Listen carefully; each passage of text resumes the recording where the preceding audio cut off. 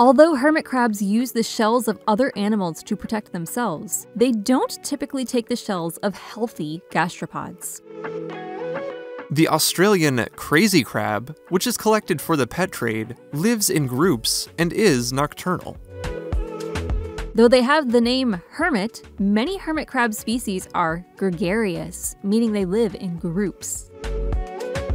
Ocean acidification makes it more difficult for snails to develop shells. This puts hermit crabs in a housing crisis. Fewer available shells means hermit crabs have to deal with smaller housing, which could lead them to have smaller clutch sizes.